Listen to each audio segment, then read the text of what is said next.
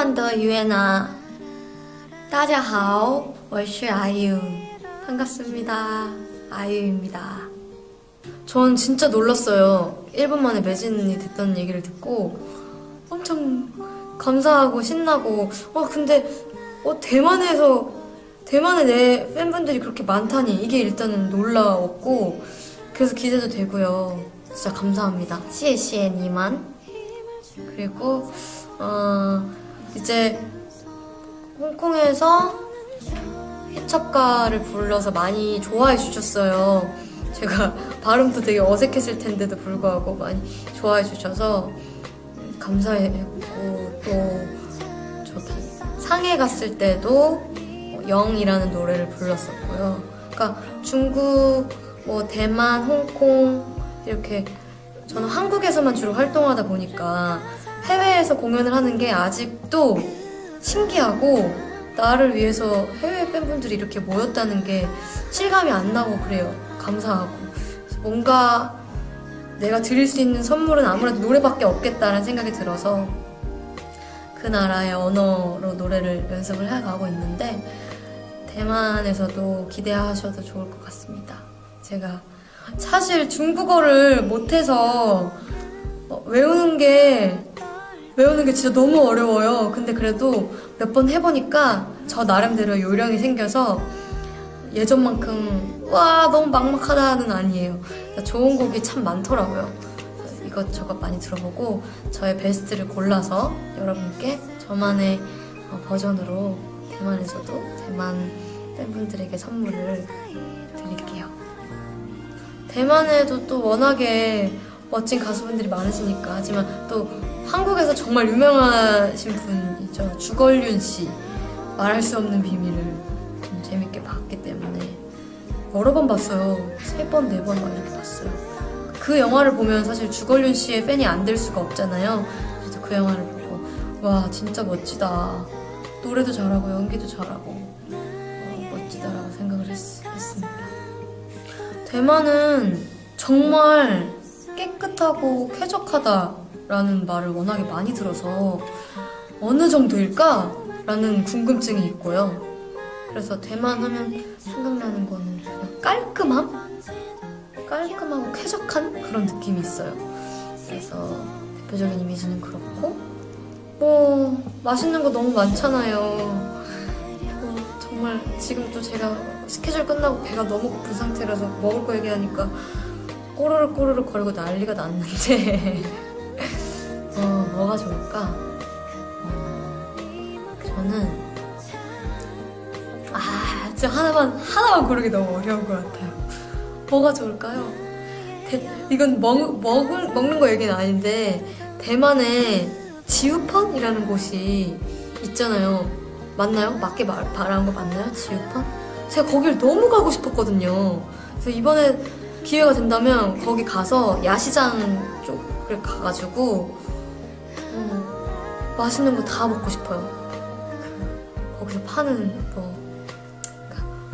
뭐랄까 뭐 꼬치 같은 거나 길거리 음식을 많이 먹어보고 싶어요.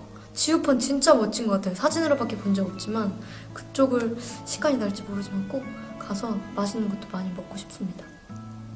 중국어 노래를 도전해보고 싶은 생각은 늘 있었어요. 왜냐면 모르겠어요. 또 어, 현지 분들이 생각하시면 또 어떨지 모르겠지만 저는 제가 중국어를 발음할 때 기분이 좋거든요. 실, 칠, 질 이런 설음을 발음할 때 기분이 좋고 음 그냥 예쁜 것 같아요. 그 발음이 너무. 그래서 제가 중국어를 잘 못하지만 발음 공부를 열심히 해서 제가 지금 내, 이미 낸 곡들 중에 어, 이렇게 가사를 번역해서 낼 수 있는 곡이 있다면 꼭 한번 도전을 해보고 싶습니다. 일단 두 가지 활동을 병행하면서 서로 서로 에너지를 받아요. 어, 연기할 때 노래를 할 수 있는 에너지가 생기고 노래를 할 때 연기를 할 수 있는 에너지가 생기고 이게 이게 저는 이 조합이 너무 좋은 것 같아요.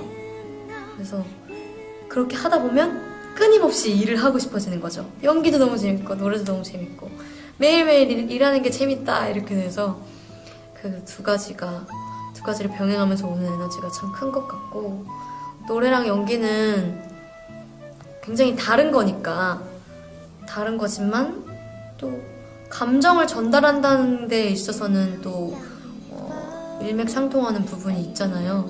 그래서 저는 그렇게 끊임없이 감정이라는 것을 표현하고 싶은 것 같아요. 두 가지 활동 다 참 하면서 에너지도 생기고 스트레스나 이런 것도 해소가 되고 묵혀놨던 분노나 슬픔이나 음, 우울함 이런 것들을 노래나 연기로 해소할 수 있잖아요.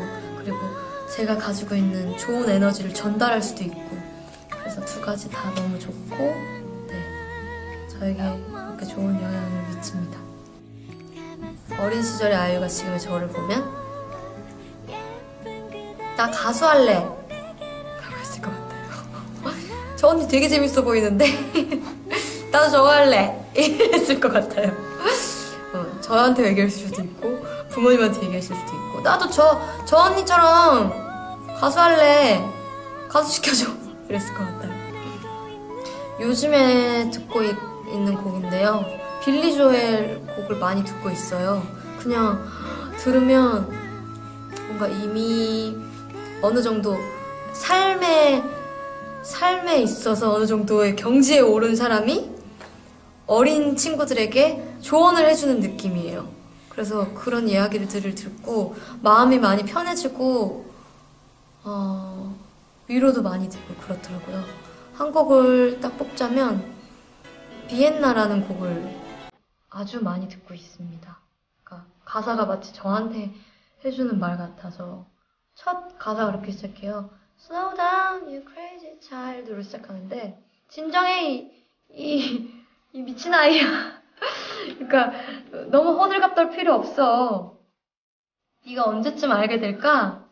Vienna waits for 이렇게 하- 얘기를 하거든요. 비엔나가 너를 기다린다는 걸 언제 알게 될까? 이렇게 멋진 곳이 있다는 걸. 네가 지금 막 몰두하고 있는 그런 일들이 사실은 되게 작은 거야. 더 큰 세상을 보렴. 이렇게 얘기를 해주는 것 같아서 그 노래를 들으면 세상이 아름다워 보이고 더 많은 곳에 가보고 싶고 그렇더라고요. 빌리 조엘의 비엔나를 추천해드리고 싶고 2016년은 제가 24살이 되거든요. 한국 나이로. 지금보다 더 어른스럽고 착한 사람이 됐으면 좋겠어요. 음, 조금 더 착한 사람이 되고 싶어요. 제가 노력해야 되는 거겠지만. 그리고 그냥 사는 것에 있어서는 2015년만큼만 재밌었으면 좋겠습니다. 음, 이 긴 영상을 봐주셔서 감사하고요. 자주 가서 인사를 드리고 싶어요. 일단 제 공연에 와주시는 분들 너무 감사드리고 또 스매시히트를 또 들어주신 부- 모든 분들께 너무 감사드리고 제가 중국어 연습을 더 많이 해서 제 이런 고마운 마음을 중국어로도 전달할 수 있게 되는 날이 빨리 왔으면 좋겠습니다. 항상 감사하고 감기 조심하시고요. 네. 제 노래 듣고 행복해지셨으면 좋겠어요. 谢谢,谢谢你们.